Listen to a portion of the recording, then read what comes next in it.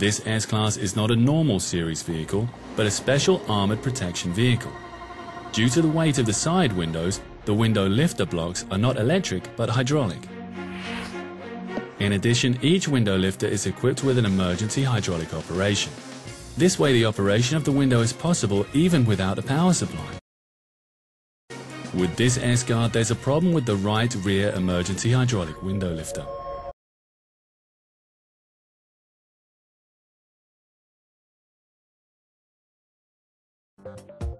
Before you go on a fault search, take out the mechanical key and keep it outside the vehicle. With guard vehicles, always make sure not to lock yourselves out inadvertently.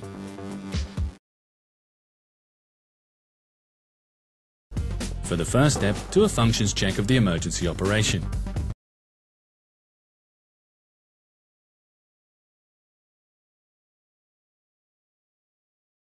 The window cannot be opened. The emergency operation is not working.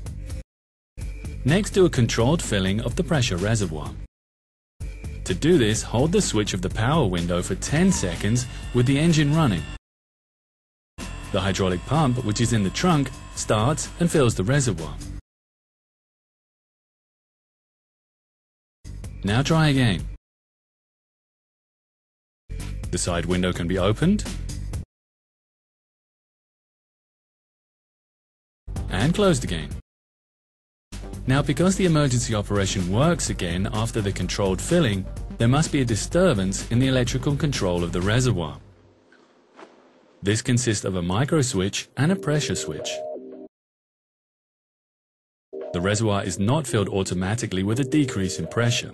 Secure the vehicle against the voltage drop, attach a battery charger. In the next step we continue with the star diagnosis. Although the micro switch and the pressure switch of the window lifter are not readable with the star diagnosis, this only examines if another defect is possibly present. The quick test routine shows that there are no stored fault codes relevant to us. Next remove the door lining as described in this.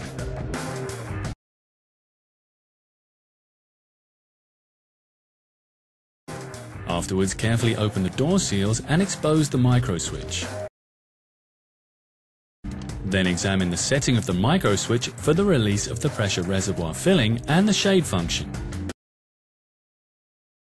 We can see that play is present between the guide pins and the position spring. Therefore the micro switches are not operated and the pressure reservoir filling is not approved. In order to repair the problem, the micro switch holder plate must be adjusted in the direction of the pin. First loosen the fixing bolts.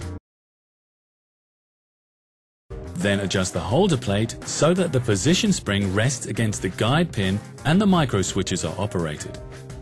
Fix the holder plate in this position. And tighten the fixing bolts with a torque of 6 Newton meters.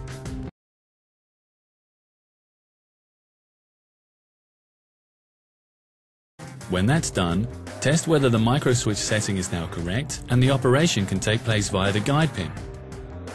Open and close the window with the switch in the driver's door. The window opens and closes perfectly. With the ignition switched on, test whether the reservoir was filled and the emergency operation functions again. Window can be emergency opened and closed. And the hydraulic pump runs as soon as the hydraulic oil flows through the emergency operation from the pressure reservoir and the pressure in the reservoir sinks.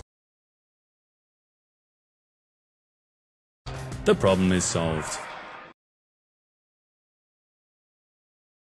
If the emergency operation doesn't work here, then the problem is probably not at the micro switch, but at the pressure switch.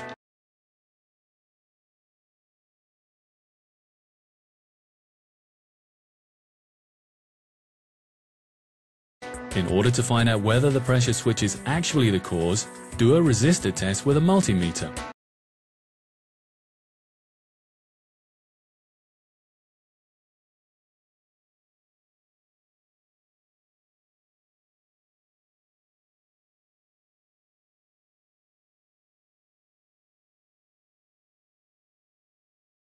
the resistor goes on infinitely. That means that the switch doesn't turn off and the electrical circuit is not closed. Next, bypass the line which leads to the hydraulic pump using suitable cables. And the pump starts. From this we see that the pressure switch is defective and must be renewed with the pressure reservoir. The exchange is only possible with a removed window lifter. The part to be removed is colored blue. Once the pressure switch is renewed, fasten the door skin as described in this. Make sure of a good seal because otherwise there is the danger of water getting into the vehicle's interior. In the next step, install the door trim, and with the star diagnosis do an exit short test, and with that, you're finished with the repair.